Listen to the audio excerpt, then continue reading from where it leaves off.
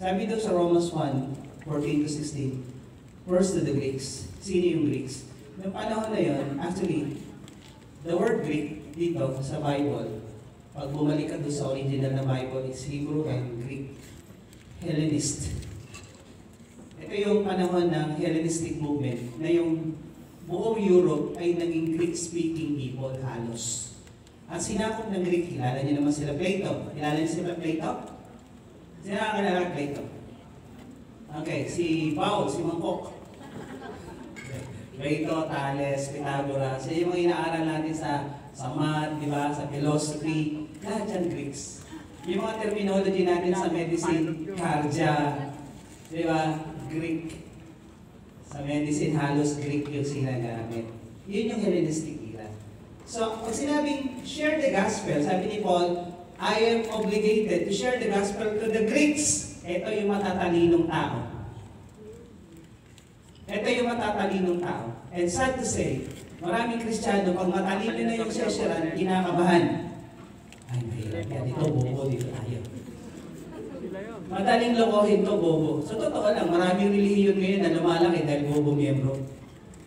Yung simpleng tanong, tinatanong pa, may faith ba Diyos? Kaya nakikita ko dami talaga bobo sa mundo. Kasi dumadami miyembro eh. Kasi kung ano leader, yun din miyembro. Amen? Pag bobo leader mo, bobo din miyembro mo. Parehas kayo mahuhulog sa butas, sabi ni Jesus. If your leader is a blind and the follower is a blind, both of them will fall into the ditch. Eh dito, pogi yung pastor. Lahat ng membro dito, pogi yung magaganda, di ba? Ay, Parang hindi naniwala iba si Hansel. Greeks. Ito yung matatalinong tao. Sabi mo sa katabi mo, yung matatalinong tao, hirap siya rin. Ang hirap naniwala nito. Mahirap ang paniwala itong mga to. Pero the moment na itong mga to naniwala, hindi mo yan matitinag. Ako po ang hirap kong mapaniwala. Ang tagal kong nadala kay Lord. Ang dami kong nilireliyo na pinasok para lang mabago, para lang matanggal sa kalikan. Ang hirap kong i-convince. Pag bibili ng gamit, yung mga sales, ayan, pag, pag pupunta kami sa Eastwood, sa mall, marami pinapromo, halapitan sa rin ako, tapos papokpin kami, ito sir, ganito. Dinodyo ko eh. Yung iba napipikon eh. Kasi hindi ako nako-convince sa sinasabi nila. Hindi ako nako-convince. Yung matatalinong tao, mahirap i-convince. Pero, pero, pag na-convince yan, yan yung mga nagiging pastor. Yan yung maraming nadadala kay Lord. Kasi pag tinayuan nila yung pinaniniwalaan nila, sigurado sila, hindi sila nakikita. Kaya huwag kang mag-alangan mag-share sa mga tatalinong tao. Dahil gagamitin ni Lord yung mga yan. Amen? Pangalawa, the Romans. Sila yung mga mayayaman. Sila yung mga influential people. Sila yung mga boss may tauhan. Pag na-born again to, kasama lahat yung tauhan nila.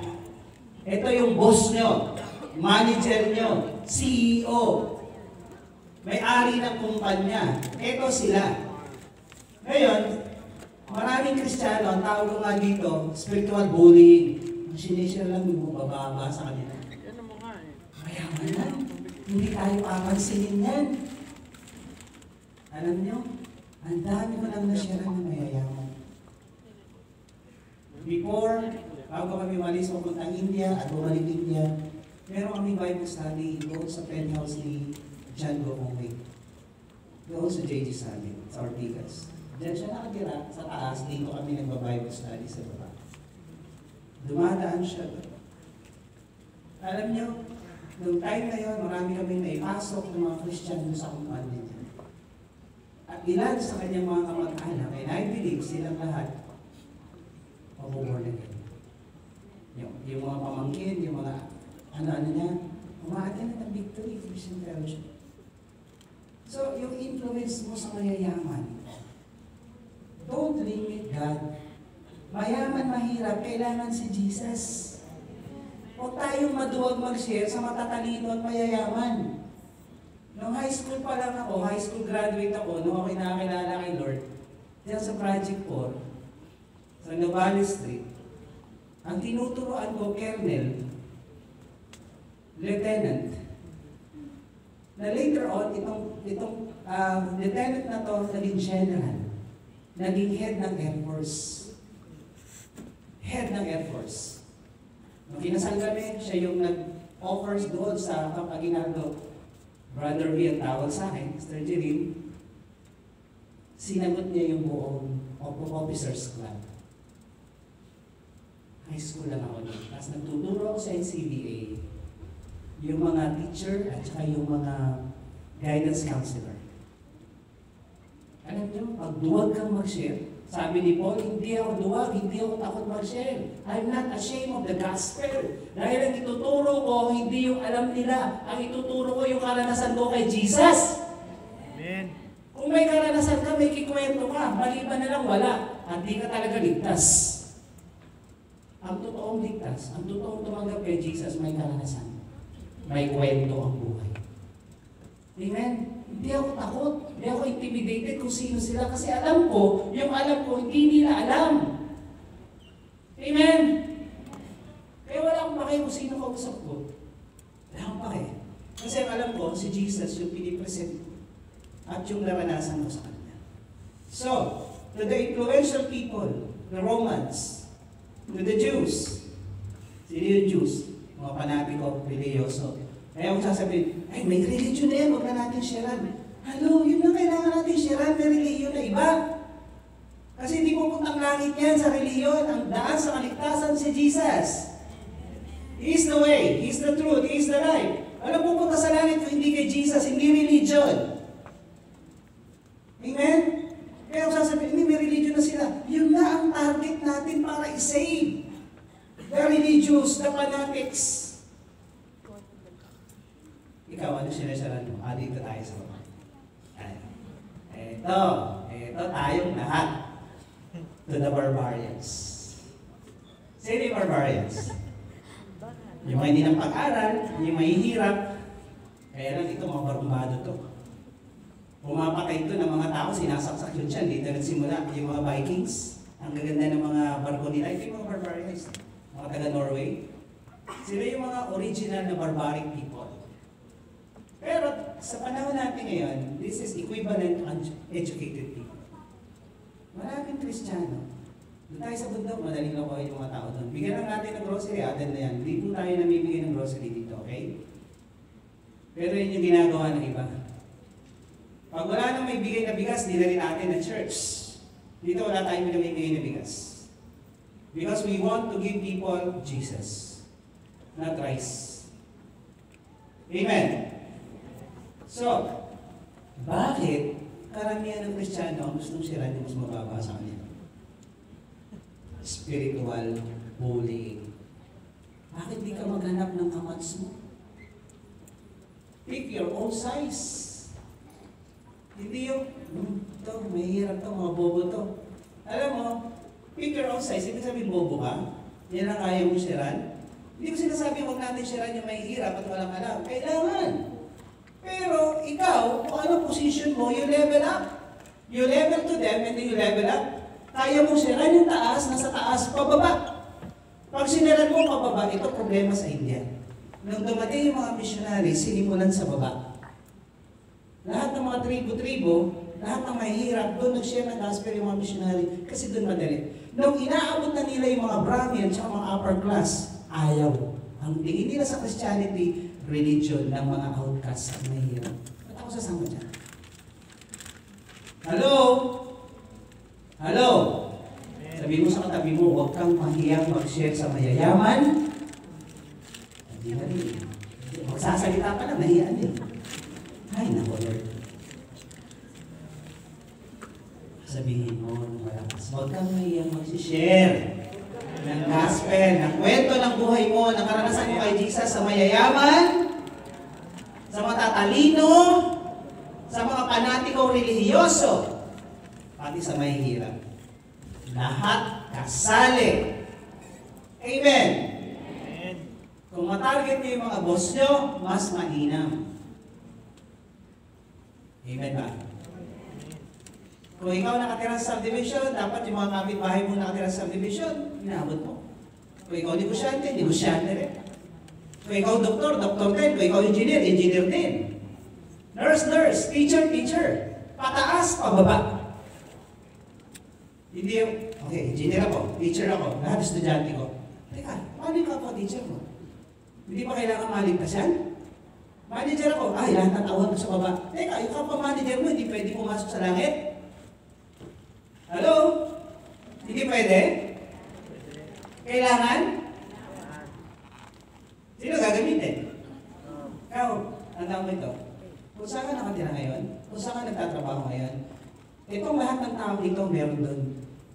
Merong mayaman doon, merong matalino doon, may influential doon, merong religyoso doon, merong hindi ng pag-aral doon. Para yung janitor nyo, kasali dito sa mahirap. Lahat yan, obligado ka, share. May utang ka sa kanila. Sabi mo sa katabi mo, may utang ka. Magbayad ka. Obligasyon mo to. Huwag may pagka, huwag mo ihintay sa iba. Dahil ikaw lang ang nandyan at wala nang iba, ikaw lang ang gagamitin ni Lord. Eskwelahan, eskwelahan, estudyante ka, sino target mo? Ako estudyante. Yung teacher mo. Mga teachers mo. Yung janitor sa school. Lahat. Amen? So we need to share the gospel to everyone. Walang pinipili, walang kinikilingan, walang pinoproteksyonan. Servisyong totoo lang. So the true meaning of salvation, ito na. Ito yung share natin.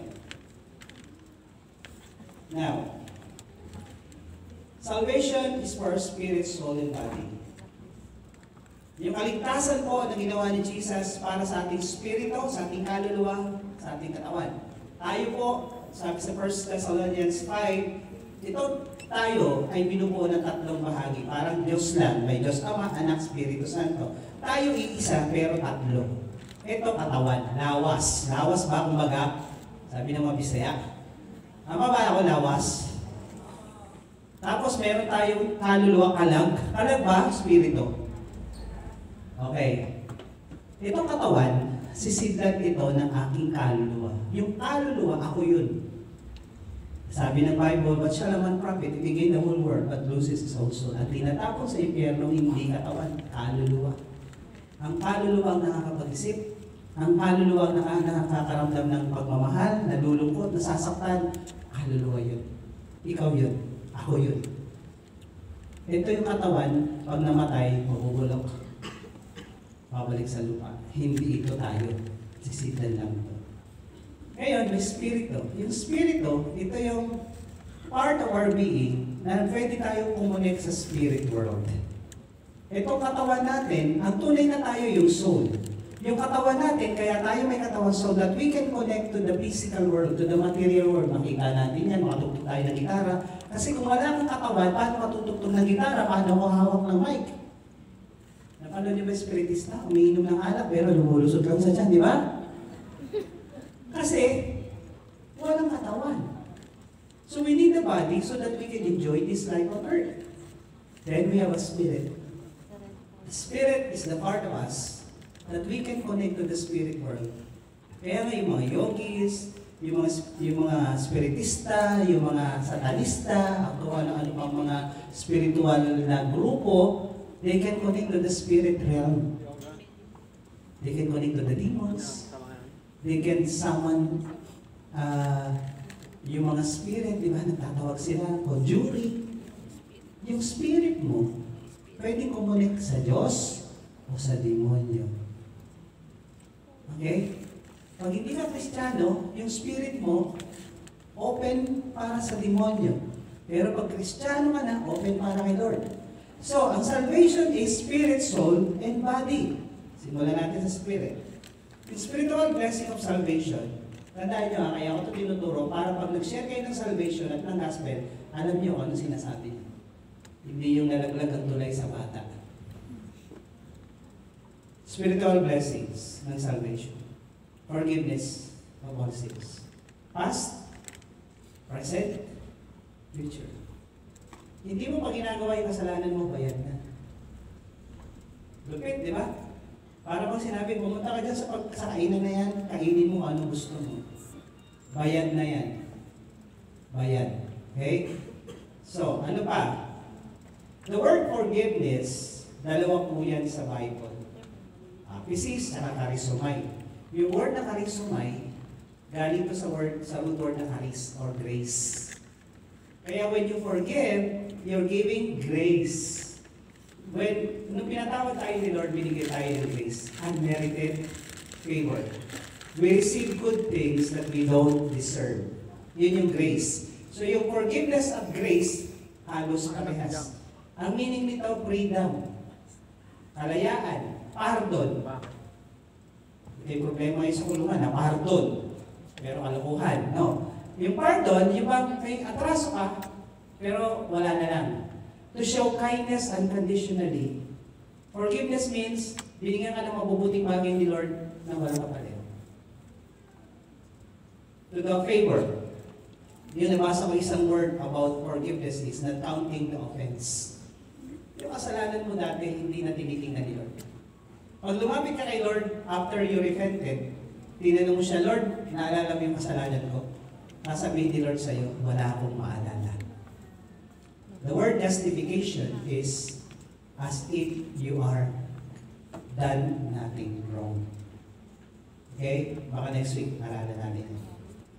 Colossians 3.30 Bearing with one another, and if one has complained against another, forgiving each other as the Lord has forgiven you, so you also must forgive. Kung paano tayo pinatawad ni Lord, magpatawad din tayo sa iba. So paano daw tayo pinatawad ni Lord? Pinalaya. Pinardon. Pinakitaan ng mabubuti ng walang kapalit. Binigyan ng pabor at hindi binilang yung ating mga atraso. Bakit di magkasundo ang maraming tao? Nagbibilangan ng atraso. Ganito ginawa mo eh. Ganito ginawa mo dati. Ito, ito, ito. Marami na yung tao, historian. Alam niyo yung mga historian? Hindi makalimutan yung mga nakaraan. History. Binabalik na binabalik. Si Lord hindi historian. But He make history, but He is not a historian. Sabi mo sa katabi mo, huwag historian ha. Matuto kang magpatawad. So the blessing of salvation, spiritual forgiveness.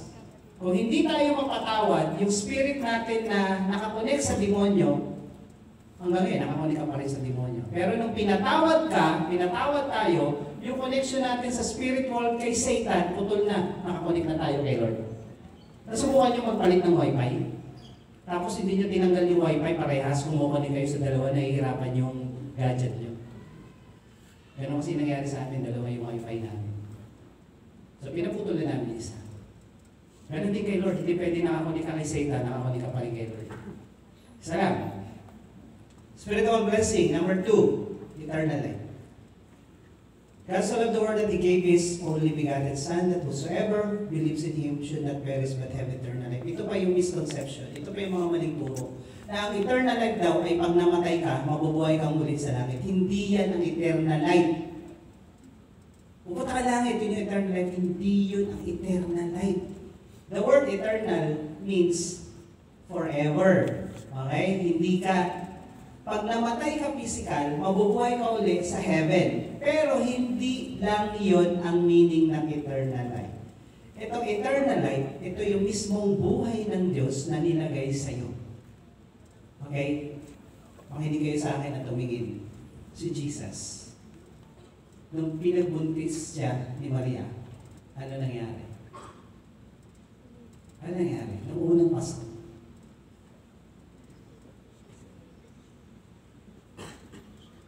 Sabi doon, the Holy Spirit overshadowed Mary. And she became pregnant. And the child that will be conceived in his womb, in her womb, will be a child of God. So itong si Jesus, nung pinagbuntis, na sinapupunan ni Maria, bumaba ang Diyos, yung buhay ng Diyos, pumasok sa kanyang tiyan, para magkaroon ng laman yung Diyos, God is Spirit, John 4, 23 to 24, God is Spirit. Those who worship God must worship in spirit. So ang Diyos ay walang buto, walang laman. Kaya nga sabi ng reli- ibang relihiyon, eh hindi Diyos yan, may buto at laman. Hindi kasi nila naiintindihan to. Ang Diyos ay spirito. Pag pinako mo sa krus ang spirito, tatamaan kaya ng pako. Makikita mo. May buto, may dugo, may dugong aagos. The requirement for redemption is blood. Blood. Walang blood ang spirit. So para magkaroon ng blood, magkaroon ng flesh, ang spirit na God, pumasok sa tiyan ni Maria at yung flesh ni Maria ang nabuo sa loob ng kanyang sinapupunan pero yung nakatira sa loob ng flesh na yun, God. The life of God, the Zoe. Okay, dalawa ang life, bios and Zoe. Ano yung bios? Nag-aaral naman tayo ng science. Biology, anything that is in this planet na may hininga, that's bios. Bios life. Pero yung Zoe life, galing kay God. This is the kind of life that cannot be destroyed. Ito yung buhay ng Diyos na naka Jesus at nung tinanggap natin si Jesus, yung buhay ng Diyos na sa'yo.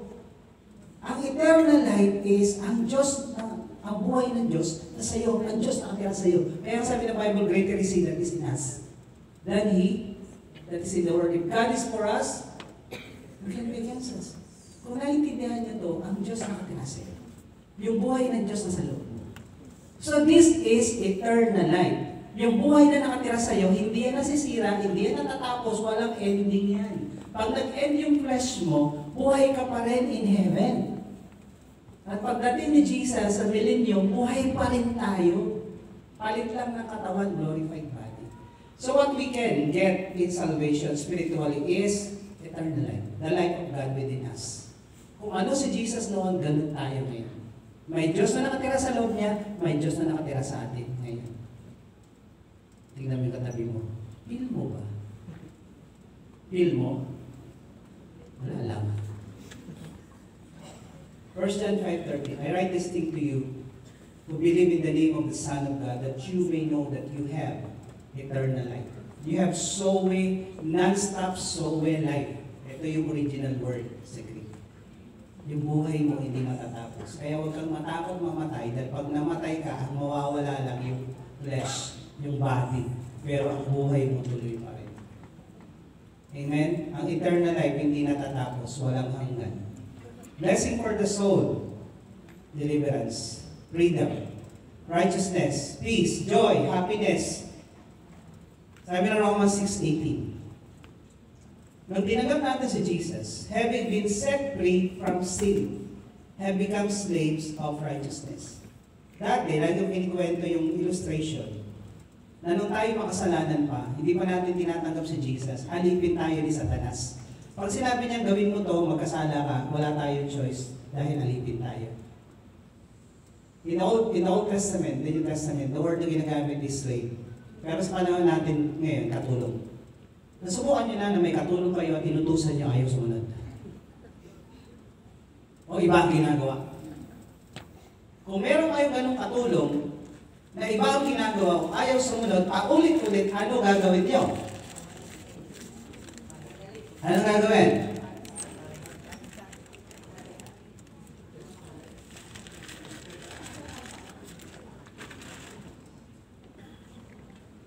Kung, kayo ay hindi kami, hindi yan tatagal. hindi yan tatagal. Marunong sumunod eh. Okay? Dapat ang katulong, marunong sumunod. Amen? Pag katulong ka, wala kang choice kundi sumunod sa boss mo. Sabi ng Bible, dati alipin tayo ng kasalanan. Kaya nga, ayaw kong mag-adik-adik noon. May mga panahon na gusto ko lang magbago nung adik pa ako. Nagtatago ako sa kwarto. Talagang sas yung sasabihin ko wala ako dito, tatahimik lang ako sa loob. Kasi at gusto ko na magbago eh. Biglang may darating galing sa Caloocan, project ko yun. No? Darating yung barkada ko, tagal ko na hindi nakikita, akatok ng bahay. May dala akong dalawang 120 rito. Yung 120 gamot po yun, mga kapsirop na mga bawal. Mag-isa tayo. Eh ako naman, syempre, ay gusto ko na magbago, pero gusto ko pa rin. Pira, laklak. Pag ikaw alipin ng kasalanan, wala kang choice kundi magkasala. Pero ang, ang blessing para sa ating kaluluwa, nung tinanggap natin si Jesus, nung tinanggap natin yung salvation, pinalaya na tayo. Amen? Sabi mo sa katabi mo, malaya na ako. Sa lahat ng kas- kasalanan, sa lahat ng gawa ng demonyo, malaya na ako. Ito pa yung maganda. Having set free from sin and have become what? Slaves of righteousness. Kung dati, alipin ka ng kasalanan, wala kang choice, kundi gawin yung kasalanan kahit ayaw mo na, eh ngayon alipin ka ng kabutihan, ng katwiran. Ano naman ang kwento? Ano ang kwento dito? Hello? Ito yun. Minsan dumadating ka sa punto, gusto mo na lang magwala. Gusto mo na lang magpakasama, pero hindi mo magawa. Dati gusto mong bumait, pero di mo magawa. Pero ngayon, gusto mong magwala. Itodo na lahat, pero di mo magawa. Gusto mo na magwala dahil sablay to, ito yung mga to. Pero hindi mo matuloy. Born again na anak. Gusto mo magpakasama pero bumabalik ka pa rin sa katinuan at kabutihan kasi alipin ka ng righteousness. Pag ikaw alipin, wala kang choice kundi sumunod. Gusto mo nang mag-backslide, gusto mo nang, gusto mo nang gumawa ng kalokohan, kaya lang alipin ka ng katwiran eh. Mapipilitan ka pa rin gumawa ng tama. Alam mo yung totoong born again, totoong kristyano, once you stuck with God, there's no way out. Gusto mo magpakasama, pero hindi mo na rin kayang gawin dahil hindi ka nalipin ng kasalanan. Kaya kung kayo, itong sinasabi ko, dalawa nararanasan ko to. Minsan gusto ko nang magwala eh. Tama na to, pagod na ako. Pero saan ka pupunta? Saan ka pupunta? Babalik ka rin kay eh. Alipin ka ng katwiran eh, alipin ka ng kabutihan. Kaya wala kang choice, hindi ka bumapalit ng mabuti kahit ayaw mo na. Kahit pagod ka na. Kahit suko ka na, gagawa ka pa rin ng mabuti. Kasi alipin ka. Ano yung katabi mo? Ganyan ka ba? Ganyan ka? Yung ayaw mo na sana gumawa ng tama, pero gagawa ka pa rin kasi alipin ka ng paggawa ng tama, wala kang choice kundi sumunod. Yan ang palatandaan ng tunay na Kristiyano.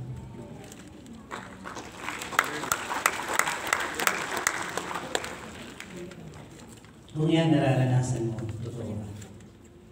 Hindi sinasabing perfecto ang Kristiyano. Kristiyano, gusto rin magwala.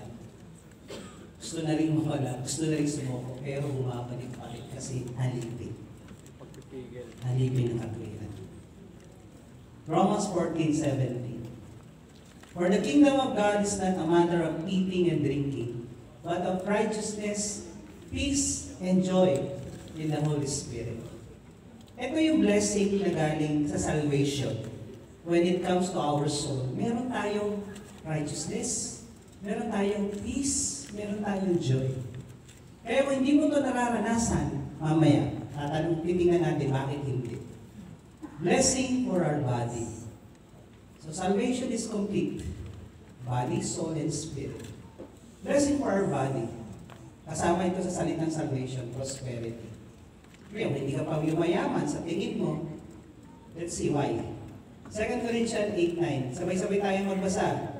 For you know the grace of our Lord Jesus Christ, that though He was rich, yet for your sake He became poor, so that you by His poverty might become rich. Sa Tagalog, ito yung grasya, yung biyaya ng Panginoon, Yeso Kristo sa atin. Na bagamat siya'y mayaman, kanyang langit, kanyang lupa, lahat kanya, bumaba sa lupa, ipinanganak sa isang mahirap na pamilya, tatay si Jose, karpentero si Maria, walang trabaho, ang dami pa nilang magkakapatid.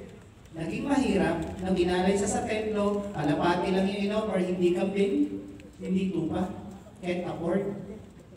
Siya'y naging mahirap para tayo na mahihirap sa Tagalog. Ano sabi? Maging? Okay, kailan naging mahirap si Jesus? Kailan? Nung siya'y nandito sa lupa. Para ka daw maging mayaman. Kailan ka naging mayaman?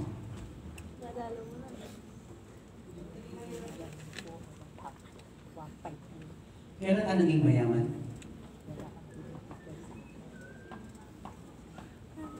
Ano yung Si Jesus naging mahirap para kang maging mayaman. Kailan ka naging mayaman? Mayaman ka na ba? Sino dito mayaman na? Taas kamay. Kami. Wala tayo mayaman na daw, pera na lang kulang.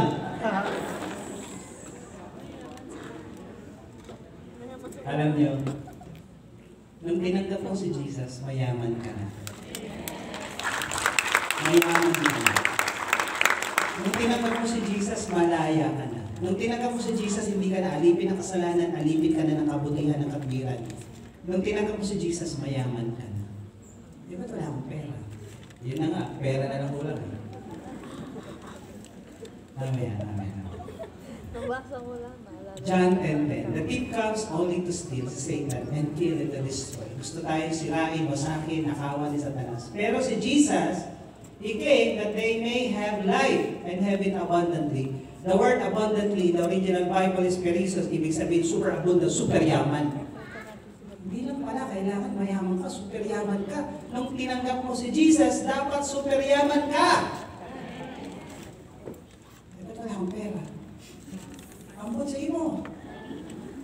Mamaya. Wait lang. May sagot dyan. Blessing for our body. Healing. Isaiah 53 verse 5, But he was fierce 600 years before Jesus came to earth. May prophecy si Prophet Isaiah. Sabi dito about Jesus. He was pierced for our transgression. He was crushed for our iniquities. Upon him was the chastisement brought us peace. And with his wounds we are healed. Sa latay natatanggapin ni Jesus, sa mga latigo natatanggapin niya, yun ang magiging source ng ating healing. So nung tinanggap mo si Jesus, kasama yung sal- sa salvation, yung bagong buhay, kasama doon yung, di ba, yung eternal life, that's part of a new life. Okay? Kasama doon yung pag-ascension ng buhay. Kaya pag may nag-invite kayo, may nag-invite kayo sa mga kakilala niyo, mayaman ba ako dyan? Yes, mayaman. Pag uwi ko, mayaman ako. Oo, pag tinanggap ko si Jesus, mayaman ka na. Eh, ba't wala pa rin akong pera? Mamaya. With these wounds, we are healed. Ang healing kasama sa salvation. Kaya paano mo matatanggap yung healing, yung prosperity, yung deliverance, yung peace, yung joy, yung righteousness, yung eternal life, yung bagong buhay kay Kristo? Paano mo matatanggap lahat yan? Yung forgiveness of sins. Okay? Yung spirit, soul, body blessing na yan, galing sa salvation. Paano mo matatanggap yan? Ano sabi doon sa verse na sinimulan natin? Matatanggap mo yan when the gospel is proclaimed. Okay? And the recipient, the hearer, will believe. Ngayon, itong sinishare ko sa inyo, the gospel. Bago nyo i-share yung gospel sa iba, dapat kayo muna naintindihan nyo to. Bago nyo i-share yung salvation sa iba, dapat kayo muna meron. Amen? So this is the gospel. This is the good news. This is salvation. Ngayon, pag narinig niyo yung salvation, I am not ashamed of the gospel. It is the power of God for salvation. What is salvation? What is salvation? Healing, prosperity, deliverance, peace, righteousness, joy, blah, blah, blah, blah, blah, blah, blah. Ang dami iba. That's salvation. Okay? The power of God to save, the power of God to heal, the power of God to deliver, the power of God to bring prosperity. Ano daw? Good news. Kailangan i-proclaim. And then, to everyone who believes. Yung power nitong sinasabi ko sa inyo, hindi ito para sa lahat. Hindi lahat yayaman. Hindi lahat lalaya. Hindi lahat magkakaroon ng bagong buhay. Para lang to sa mga naniniwala. Kung hindi ka naniniwala, hindi ko para sa iyo, sorry. Only to those who believe. To the Jews, sa mga relihiyoso panatiko, to the Greeks, sa mga matatalino, to the Romans, sa mga mayayaman, to the barbarians, sa mga mahihirap. Kahit sino mayaman, mahirap, basta naniniwala, makakaranas na ito. Ano yung may katabi mo, naniniwala ako? Oo. Kaya nga yung iba, yung mayaman na, ikaw hindi. Salvation are for those who believe. To those trust, to those obey, only. Everything is yours if you trust and obey. Okay? By the way, walang bayad. Hindi mo kailangan sumunod para masave. Ang kailangan mo lang magtiwala, maniwala para masave. Pero pagkatapos mo masave, kailangan mo may gawin. Kunyari, binigyan ka ng kotse. Binigyan ka ng Ferrari. 50 million. No? Binigay yung susi sa'yo. Mayaman ka na? Mayaman ka na? May 50 million kang Ferrari. Mayaman ka? Kaso hindi ka marunong mag-drive. Wala kang lisensya. Pinarking ko lang dyan, 10 years na, nandiyan dyan pa rin. Mayaman ka? Parang ganito lang yun eh. In the word salvation, lahat ng kailangan mo, binigay na sa'yo. Kompleto yan, walang kulang yan. Kaso hindi mo ginagamit. Nakapark lang yung Ferrari mo doon. Hindi ka marunong mag-drive. Hindi mo, hindi mo alam i-utilize yung mga pangako ng Diyos. Hindi mo alam sundin yung mga utos ng Diyos. Wala rin kwenta. Wala rin silbi. Walang kwenta, narinig-rinig mo pa, pero hindi mo naman nagagawa. Walang kwenta, ang ganda-ganda ng kotse mo, Ferrari 50 million, pero hindi ka marunong mag-drive, wala ka pa lisensya. Ang ginawa mo dyan, yun, binahiyan mo sa aso yung mga gulong, may pinakalaw mo. Meron ka. Kaya lang pag hindi mo ginamit, di ka sumunod. Walang silbi. Faith without works is dead. May faith ka, then you have it. Na, then what? Gawin mo. Okay? Sundin mo. Jesus is the good news. Is the Jubilee. Ito pa, I want to share with you about the Jubilee. Hindi to kainan na may bubuyog. Okay, Leviticus 25, 8 to 10. And ang Jubilee, ito yung 50 years, 7 Sabbaths. Every 7 years sa Israel, kailangan yung lupa ipahinga. Walang magtatanim sa 7th year. So ang sabi ni Lord, yung aanin nyo ng 6 years, ita times 3 ko yan. Okay? Para during the 7th year, kakain lang kayo na wala kayong ginagawa.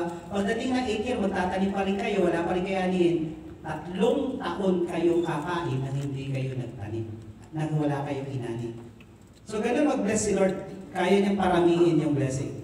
So, pero sa pitong-pito, okay, 7 times 7 na taon, sa ika 50 years, yan, nakalagay naman dyan, ikikwento ko na lang. Pagdating ng 50 years, lahat ng may utang, naalala niyo yung dalawang bata na kukunin nung pinagkakautangan dahil di nakabayad yung tatay yung propeta.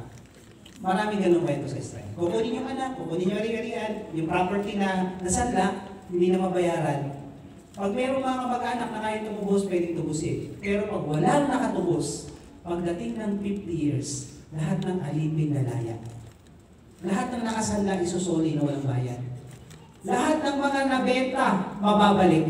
Lahat ng naghihirap, yayaman. Kaya ngayon sabi ni Jesus, dito sa Luke, ayan o, The Spirit of the Lord is now upon me to proclaim good news to the poor. Ibig sabihin, ito yung year of Jubilee. Lahat ng mahihirap, pwede nang yumaman uli. Lahat ng naka, nakaalipin dahil sa nasanla yung kanilang pagiging kahirapan nila, naging alipin sila, pwede na uling maging boss.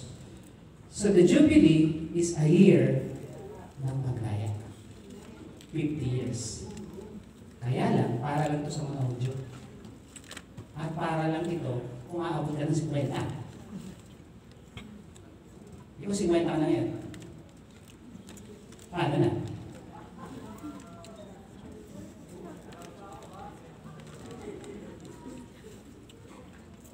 And then, pagdating ng 50 day, 50 years, on the day of atonement, meron tinatawag, tinatawag na Yom Kippur War. Ay, Yom Kippur. Ito yung every year inaala yung tupa sa templo. Naalala yung tinuro ko to? Dalawang tupa. Yung isa kakatayo, inaala yung dugo. Yung isa, isang tupa o kambing, nililehans yung kasalanan, itataboy sa wilderness. Ginagawa to doon sa templo. Nung pumunta kami ng Israel, wala na abortion templo. Iba na yung nandun doon, mosque na eh. So doon to ginagawa. Okay? So during that day, atonement, iaala yung tupa. Okay? On the 50th year na gagawin to atonement, it symbolizes about Jesus, yung paglaya at pagtubos. Tapos sabi dito, you shall consecrate the 50th year and proclaim liberty throughout the land to all its inhabitants. It shall be jubilee for you. Each of you shall return to his property, and each of you shall return to his clan. But if he does not, verse 28, if he does not have sufficient means to recover it during before Jubilee, the buyer until the year of Jubilee, the, in the Jubilee it shall be released, he shall return to his property. Ganito yung mangyari. Ang araw ng Israel ay nagtatapos sa alas 6 ng hapon. Okay? Every 6, paglagpas ng 6 o'clock, another day na yan. Pagpatak ng 50th year, alas 6, uno, lahat ng trompeta sa Israel, may dala po akong trompeta galing Israel, yung ulo ng, ay ulo, yung, yung horn ng drum. Sabay-sabay sila na meron nun, hihipan nila mula dito. Ang ingay nito, ang saya nito. Lahat, ang ingay sa buong Israel dahil lahat ng trompeta, hihipan. Siguro yung mga boss lang, yung mga may alipin na hindi makikiihip, sabi nila, wow, wala yung mga tulong natin. Pero lahat doon na meron sabay-sabay hihipan. Ang saya nito. Alam ng buong bansa, kung ikaw nagbibingi-bingihan na hindi mo naalala 50 years na, maririnig mo to, kailangan mo nang palayain itong mga to. Kailangan mo na isoli yung mga nakasanla na walang bayad. 50 years. This is the year of Jubilee. It happens only 50 years and for the Jews. Pero nung dumating si Jesus, nung dumating si Jesus, ngayon na, araw-araw, Jubilee. Sabi niya, Today it happened. The Spirit of the Lord is now upon me because He anointed me to proclaim the good news for the poor is Jubilee. Sent me to proclaim liberty. Jubilee is lalaya lahat. Nang may utang, lahat ng katulong, alipin, lalaya. Recovering sight to the blind, to set liberty to those oppressed, yung mga inaalipin, proclaim the year of the Lord's favor. This is Jubilee. Jubilee is the year of the Lord's favor. Jesus is the good news. Yung kwento ng buhay mo na pinakialaman ni Jesus, that is the good news. Ano kwento ng buhay mo? His salvation is complete for all the needs of every human being on the planet. Hindi lahat nakakatikim kasi hindi lahat maniniwala. Pero lahat mayroong provision si Lord. Kompleto para sa lahat. When He died on the cross, every day is Jubilee. Kung dati mag-iintay ka ng 50 years, ngayon hindi mo na kailangan maghintay ng 50 years. Ngayon, Jubilee mo.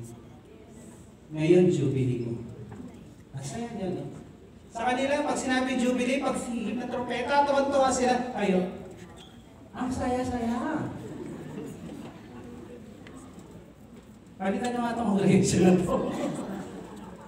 Naintindihan niyo ba sinasabi ko? Pag yung mga bata sinabi mo, Jollibee, Jabi, Jabi. Kayo, Jubilee, hindi pa kayo masaya. Ito yung pinakamasayang araw sa Israel. Araw ng pagnayan. Araw ng new beginning. Araw ng pagbudan. Ngayon sa panahon natin na dumating si Jesus, ang Jubilee, hindi 50 years. Every day. Every day. Jubilee is now. Jubilee and salvation have the same meaning. Kalayaan, pagbabalik ng mga nawala sa iyo. Kung Jubilee is now, salvation is now. Sabi ng 2 Corinthians 6.2, Today is the day of. So Jollibee is, Jubilee is now. So ano gagawin mo? Bakit di mo nararanasan yung prosperity? How to receive all that Jesus gave? Kailangan may proclamation. Today, I proclaim to you the good news. Naririnig niyo yung good news. Nagpoproklama ako ng good news sa inyo. Ang kailangan niyo gawin, you believe. Do you believe? Yes. If you don't believe, you will not receive it.